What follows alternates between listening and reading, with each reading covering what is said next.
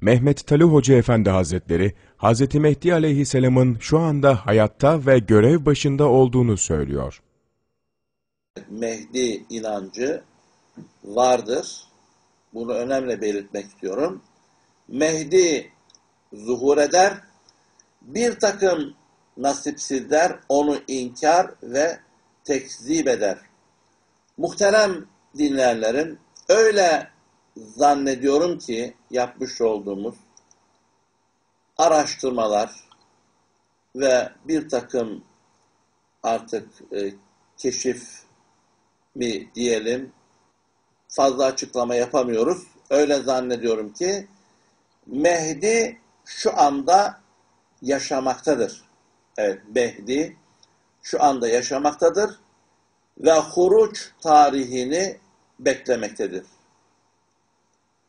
İsa aleyhisselam nuzul eder, Müslümanların arasında yer alır.